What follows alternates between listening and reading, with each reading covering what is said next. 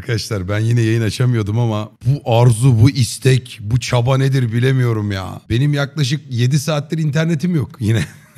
ne Discord'da dur ne hiç bilgisayarın başına oturamadım bile bugün. Yaklaşık olarak 6-7 gündür yani internet koptuğundan beri Eyşan'ı bağlıyorum. Ya kış bahçesine koyuyorum ya ev alıyor bağlıyorum. Yani bir şekilde idare ediyorum. Serbest bıraktığım zaman da başında durmaya çalışıyoruz. Hani bir yere ısırmasın yemesin diye. Bugün tasmasından kurtarmış yani. Tasmasının içinden çıkmış. Yardırmış Ethernet'e amına koyayım fiber kabloya. Onu koparmış yine.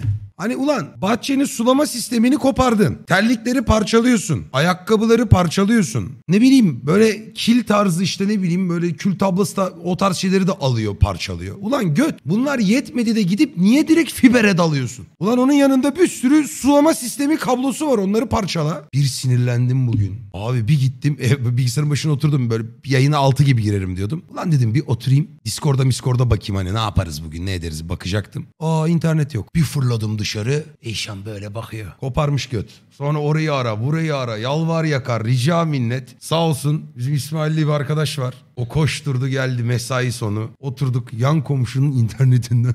yan komşunun portunu çaldım. Oradan böyle bir interneti tepeleme yaklaşık 40 metre 40 metre kablo çektik. Böyle kablo saklayıcıyla. Tepeden getirdik. Evi na buraya kadar soktum. Öyle yayın açıyorum şu an. Komşu gelse böyle bu ne amına koyayım lan dese çekse internet yok. Hey Allah'ım ya neyse öyle işte. Yani 5 saatlik anıyı anca bu kadar. Şimşek yeter. Ablaları da koymayın artık. Hayvan beslemek zor iş baba.